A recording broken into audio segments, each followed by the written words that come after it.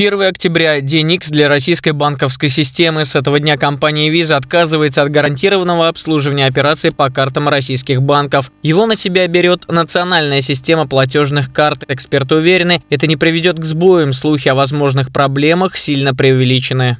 Трудностей у держателей карт Visa не возникнет.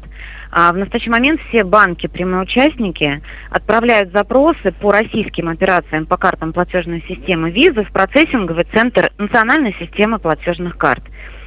А, нужно сказать, что иногда возникают единичные случаи ошибочного направления запросов в платежную систему Visa. И именно поэтому банкам было направлено уведомление о необходимости дополнительного контроля и устранения подобных ошибок. Компании Visa и MasterCard обслуживают подавляющее большинство карт в России, в Самаре в частности. На эти карты перечисляются зарплаты, пенсии, социальные пособия. С помощью них люди перечисляют платежи за различные услуги. Проблемы могут возникнуть у владельцев карт тех банков, что не успели перевести операции с деньгами в НСПК, комментируют специалисты. Самарцы изменений на себе не почувствовали.